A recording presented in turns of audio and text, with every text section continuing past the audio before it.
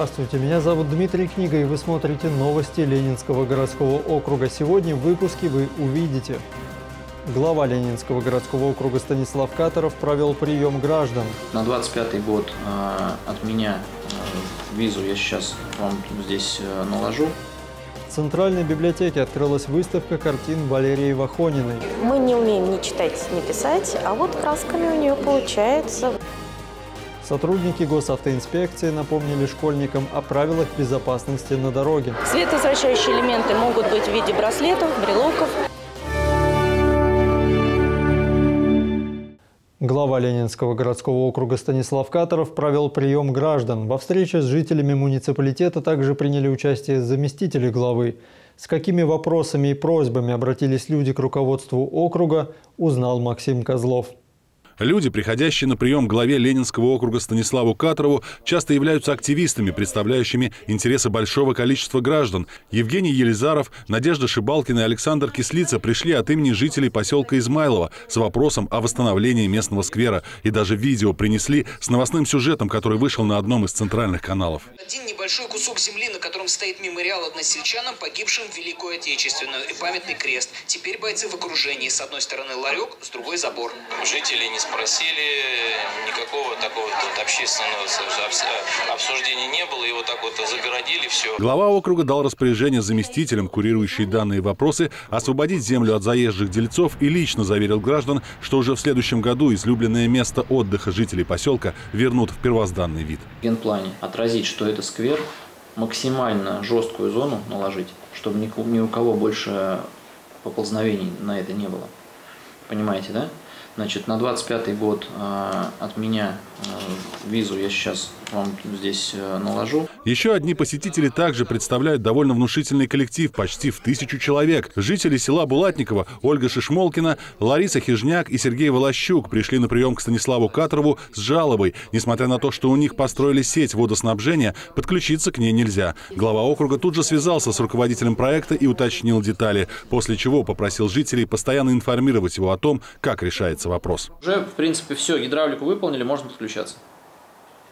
Все, хорошо. Завтра тогда, завтра тогда доедете туда. Ну, сейчас, Ничего в принципе, коллеги у меня здесь. Э, мы сейчас тоже сейчас объясним, кстати, Ладно, ладно, спасибо. Угу.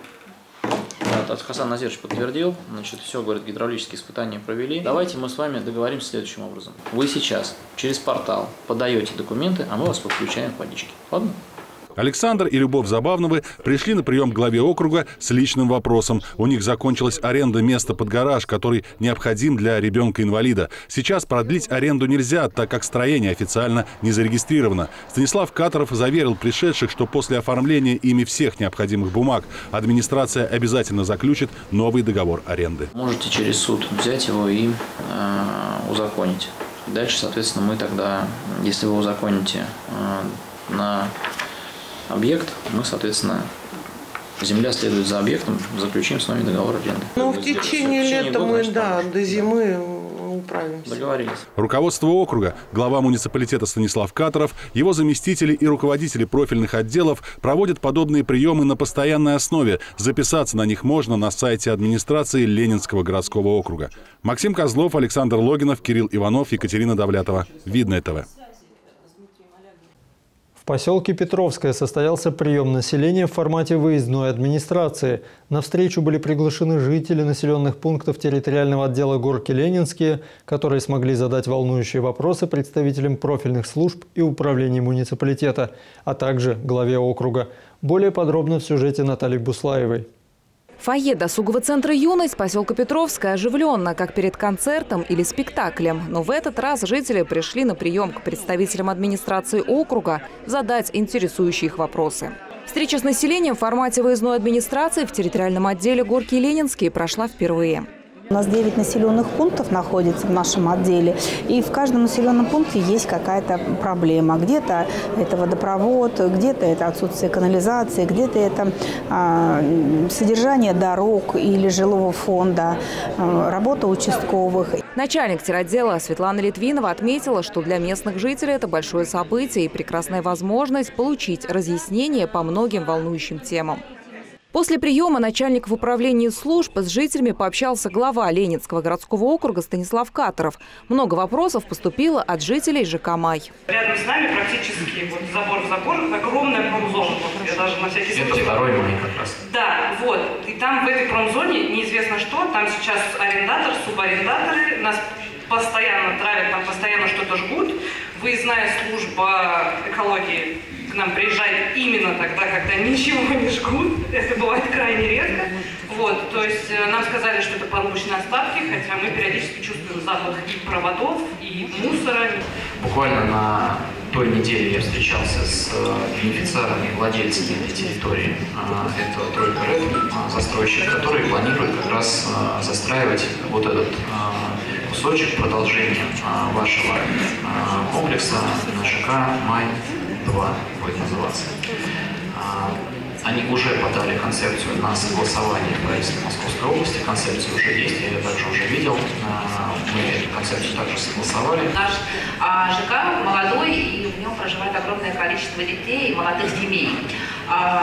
При застройке ЖК, к сожалению, детей нашего ЖК отсутствует полномасштабная спортивное поле, где они могли бы играть. Человек или он появится, да, который там будет вести секции, например, футбол там или еще что-то, вас же конкретно, наверное, что-то интересует, правильно? Там футбол, может быть, э, хоккей, может быть, еще что-то, может быть, э, спортивными тренажерами заниматься.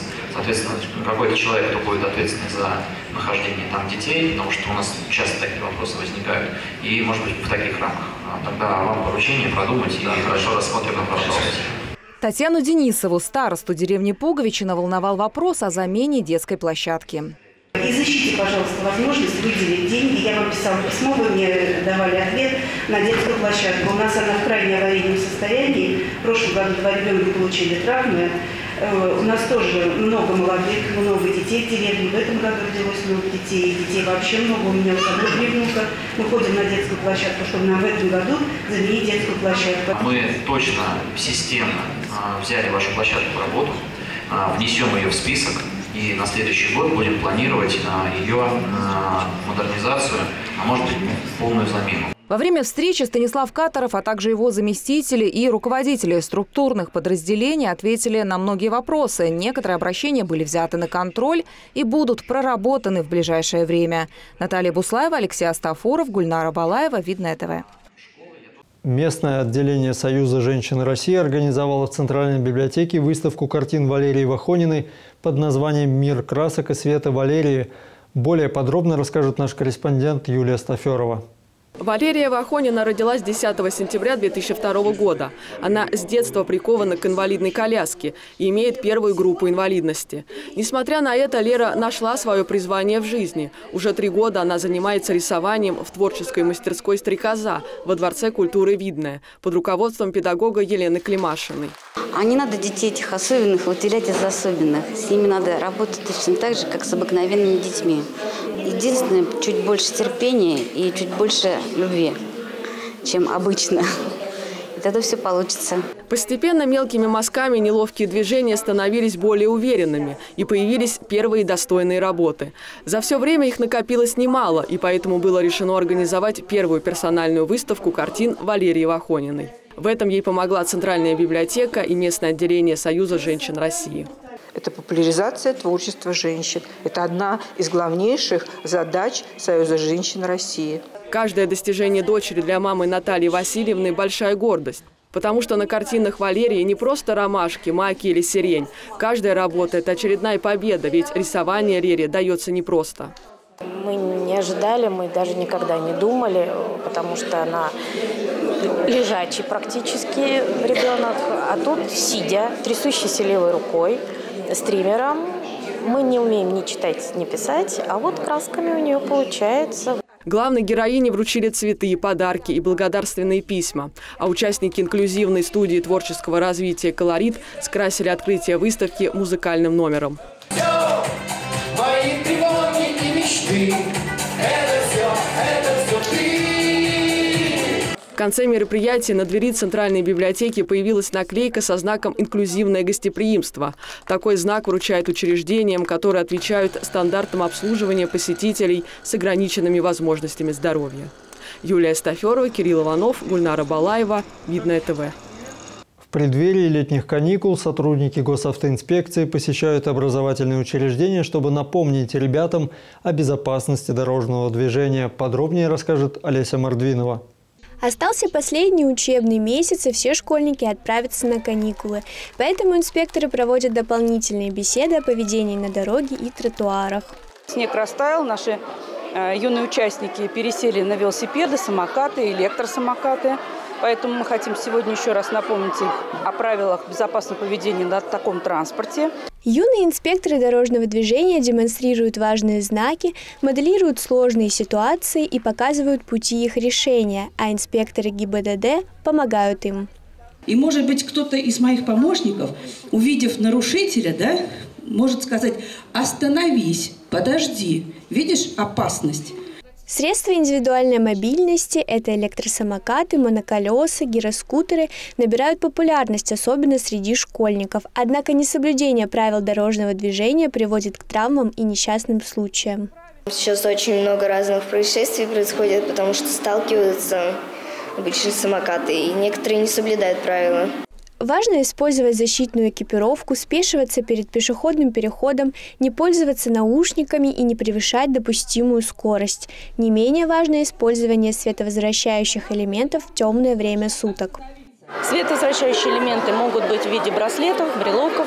Соответственно, используются они для того, чтобы водитель э, в темное время суток видел нашего пешехода, который, как правило, находится в темной одежде. Все участники дорожного движения ответственны за общую безопасную ситуацию на дороге, и задача своим поведением на дороге способствовать безопасности, а не создавать неудобства другим участникам дорожного движения. Олеся Мордвинова, Александр Логинов, Гульнара Балаева, Видное ТВ. Соавтора счастья. Так называется проект семейного психолога Виктории Кис. Она выступает с мастер-классами, лекциями и семинарами – в рамках Года семьи она провела встречу с читательницами библиотеки ЖК «Пригород Лесное». В библиотеке жилого комплекса «Пригород Лесное» прошла интерактивная лекция психолога Виктории Кис на тему семейного счастья. Посетившие мероприятие молодые женщины смогли узнать, как создать комфортную атмосферу для воспитания детей. Наше мероприятие посвящено теме детско-родительских отношений. А вообще «Соавторы счастья» – это проект, который направлен на повышение уровня детского счастья.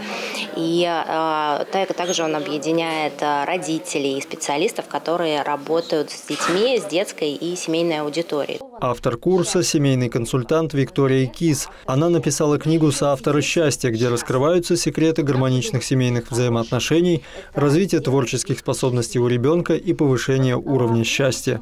Сегодня мы будем говорить о том, почему дети закрываются, и самое главное, а, как родитель может наладить доверительные отношения с ребенком и понять, что происходит у него в голове и душе. Виктория быстро нашла общий язык с собравшимися и смогла заинтересовать их темой лекции.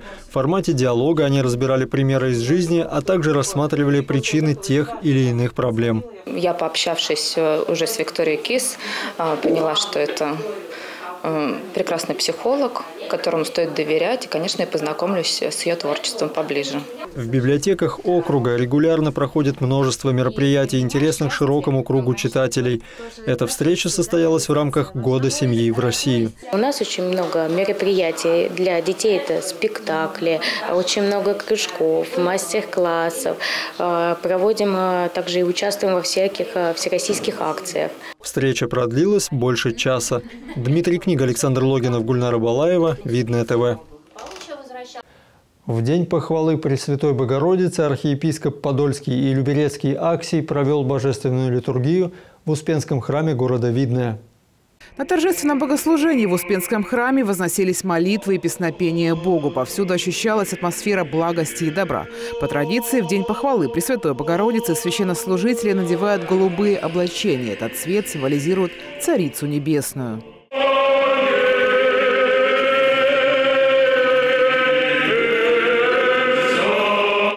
Преддверии праздника Пасхи архиепископ Подольский Люберецкий Акси вручил богослужебные иерархические награды для священников Видновского благочиния.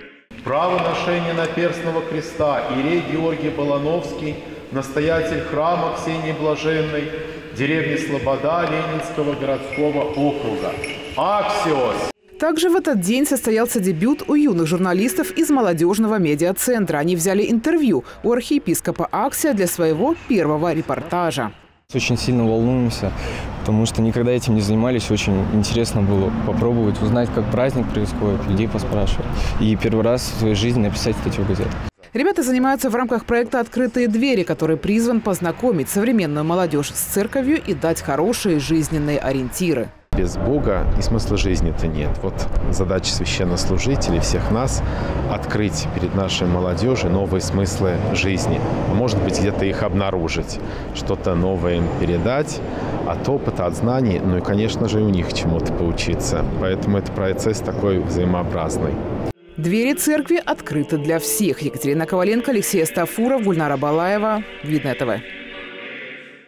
На сегодня это все новости. Всего доброго и до свидания.